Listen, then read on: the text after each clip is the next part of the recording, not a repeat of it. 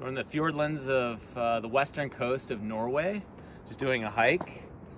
Snow's melting off the top of the mountain over here. And as we're walking up the road, we just passed into a mid-elevation zone where we have digitalis or foxglove. It's a really interesting, beautiful plant. It produces these, these uh, just cup-like flowers.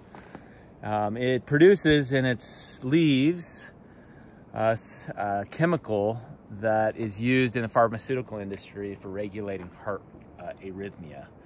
Um, and at high enough concentrations, toxic and poisonous can kill you. So it's, it's a really interesting plant chemically, but we're looking at it to understand better how individual plants, flowering plants and flowering plant populations, the, their strategies for optimizing the reproductive success of their offspring. And we want to look at uh, things that individual plants are doing and populations of, of plants are doing to assure reproductive success. Some of the things that uh, we just had a group of students here looking at this noticed is that within this population of foxglove, we have different floral colors. So we have uh, kind of a, a pink, a white flower over here. If we come up here, better contrast. Here's the purple flowers right here compared to those that are more pink.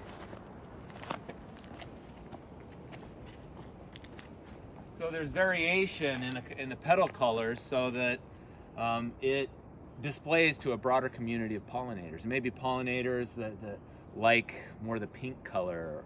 Uh, the white colors may be more uh, attractive to moths at night. And then the darker purples may be more attractive to bumblebees. Um, and so it, it, just speaks and uh, attracts a broader pollinator community. So pollinator efficiency across the community can can be optimized. Um, we also just looked at the fact that, and you can see there are pollinators buzzing, bumblebees right here, and bees. I'm to take and get a little closer.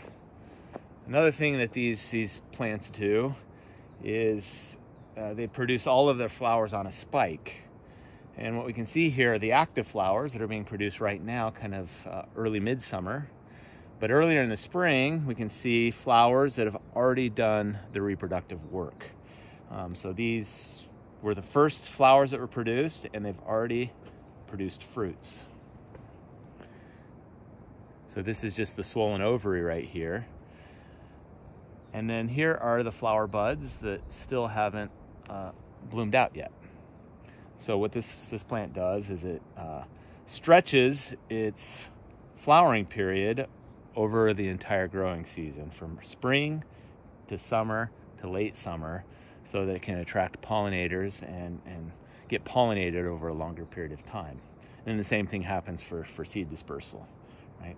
These are seeds are, are getting prepared to be dispersed right now, and then later on, these will be ready to disperse, and then finally these will be dispersed at last. So you can see that uh, this population has different colors of petals, and it produces uh, flowers and seeds at different times to uh, engage the pollinator community and the animal seed dispersers that help it be successful in this environment.